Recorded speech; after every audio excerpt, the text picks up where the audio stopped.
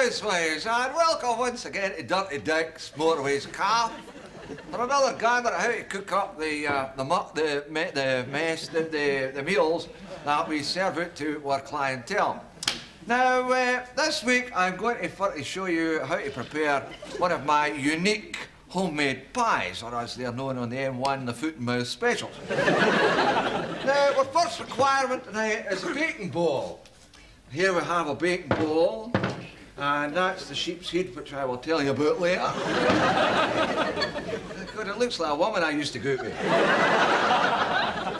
now, uh, into this bowl, I have placed uh, kind of half pound of flour, a couple of water, and uh, well, a big dot of butter. And after that, of course, you have to. Oh, by the way, just I might just uh, diverge for a moment. I've had a couple of cheeky letters about me no washing my hands before I've handled edible foodstuffs. so, well, fair's fair. I mean, a bit of hygiene never hurt anybody. You know what I mean? So I'll just like to tell you before I come on the air tonight, I gave the offending appendages a good scrub with soap and water. And I washed my hands as well. Oh,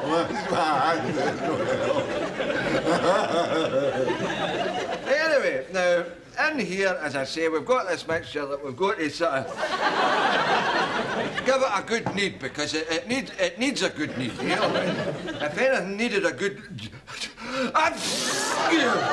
Things I hope I'm not coming on for a call. anyway, once you've got it into a kind of consistency to tim out onto the, the, the, the, the thing so that you can roll it into a, a, a pastry, Fortunately, my uh, assistant chef, Clarty Claude, has made up some pastry for me. Would you see this the uh, pastry, Clarty, please?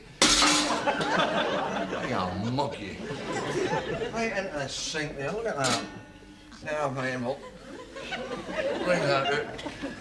Hey, Clarty, how many times have I told you not to put your wife rinse in with the dinner?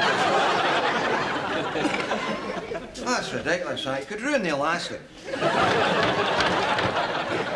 Uh, here we have this bit of pastry. Just hang on a sec, will you?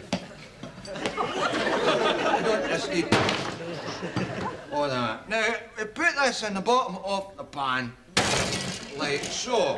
And uh, now, of course, we require the filling for the pie. Uh, I may say... These bloody big cockroaches with... Slap you up as soon as look at you. What are you dirty piece? Go here. Now, throughout the ages, I mean, folk have... Eh, flying today, eh? Anyway, we should have something really scrumptious in here to put the pie. Oh, hey, Clarty, that is ridiculous. Want to watch me? By the way, I perhaps should tell you that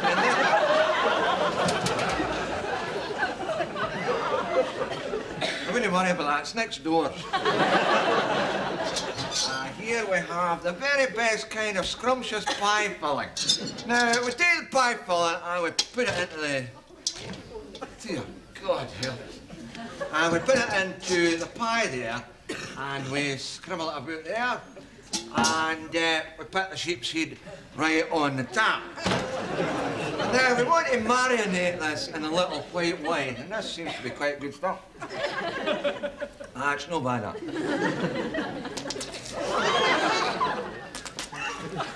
That's about the right amount, a mouthful and a half. And we cover this whole thing with another dot of pastry. And this is where maybe the teeth will come in handy, crimpy, eh? Just to make it nice and neat. And you bung this in the oven for anything up to two hours or until such times as it blows up. of course, like any other good chef, I already have one. Shut your face, you. I already have one cooking, and I'll go and get that now the oven. And uh, we can. Oh, yeah!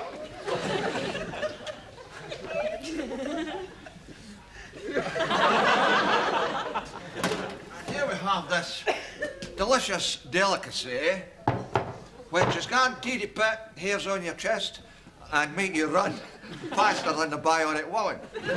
well, that's all for uh, this week, Chinas. I do hope you'll look in again next week when I'll be baking the humble Scotch salmon and turning it into an Italian treat, which they call salmonella. Appetit. sound